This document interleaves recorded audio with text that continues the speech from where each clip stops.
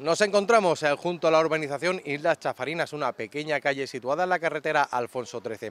Y hemos venido aquí para ver las reivindicaciones de los vecinos de la zona que piden por favor que la arreglen de una vez por todas la carretera de la zona, una carretera que no se arregla desde el año 97. Las obras en la carretera Alfonso XIII y las calles colindantes son continuas.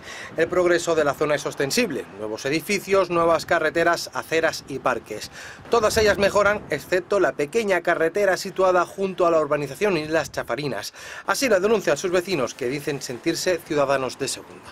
Yo creo que es la peor calle olvidada de Melilla. Desde el año 97 que se entregó el edificio, tan solo en una ocasión se intentó arreglar la calzada, aunque, según denuncia el portavoz de los vecinos de la urbanización Islas Chafarinas, solo se taparon parches y de forma, dice, chapucera. Pues que lo que ocurre es que se ha revuelto y lo único es tierra y ahora mismo ya lo podéis ver la calle como está, es da pena. El estado de la calzada induce a la creación de un barrizal los días de lluvia que puede durar una semana y la carencia de un desagüe apropiado provoca que la pequeña calle se convierta rápidamente en una piscina cuya agua llega incluso a inundar los garajes. Oye, pues mira, echaron el alquitrán, como veis, el alquitrán está muerto. Te das con el pie y es tierra, tierra. Y si te ves, si te vas, pues te vas fijando aquí, es tierra todo, es tierra.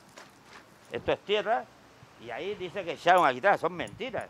Armando insiste en que ni los tres escritos presentados en fomento ni las continuas denuncias vertidas a través de las redes sociales han servido para nada.